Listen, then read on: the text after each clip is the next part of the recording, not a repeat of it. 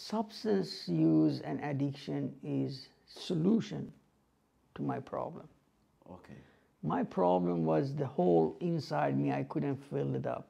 That's why it kept me angry, not happy.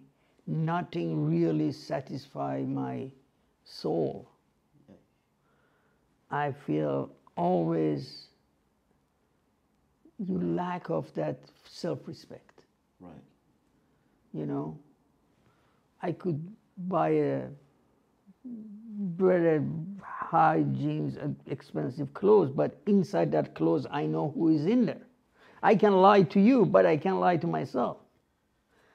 So that gap, that hole, is always hold me. And when I left the gang, and for and I had a bunch of money in my hand, so I start. It's like, okay, I'm gonna take a break and just have fun. But by drinking, doing the line, party, nightclub life, and but at the same time we are building the substance use problem. Mm-hmm, mm-hmm. First it was just fun, and then wake up, headache. Okay, I'm gonna have little bit, just my headache go away. Uh-huh. And that little bit became more, became more, because addiction is very aggressive, grow very fast. And before you know it, now it's not just my headache go away. I have to wake up and drink so I get rid of the shake. Mm-hmm. To be, I can go present out there, right? And apartment, cars, always you thinking, it's not like I sell it, I'm gonna go smoke it, but in my head, I'm gonna sell this and I do the business and make more money, I buy two.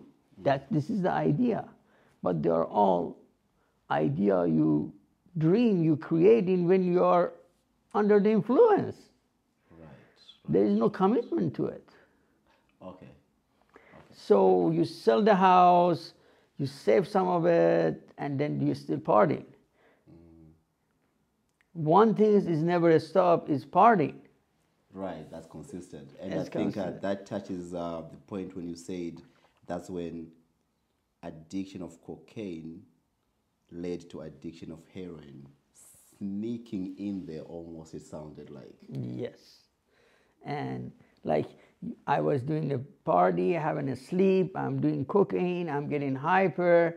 Now I need something to calm me down. Mm-hmm. So in my head, I'm doing a little bit of heroin to just calm me down. Correct. I didn't plan to be a heroin addict. But at the same time, I'm manifesting another addiction under layer of the, the other one. To cover, it's like a lie. You do one lie and you do another lie to cover that lie. Now you have two lies to deal with. I'm, I have a problem with this substance. Now I'm doing this substance to cover this substance. And it's just add to it, right? And yeah, before you know it, I lost the apartment, the house. Of course, people doesn't do anything with me anymore because you became another side of the addiction is you became unreliable. Unreliable, right. You know, un, I, people can't count on your word. You're always late. You always forget things. You always, it, you became liability. I know, I think we spoke about uh, your family finally getting involved or your brother saying something to you. But uh, can you walk me down? How did you finally decide, let me conquer this addiction?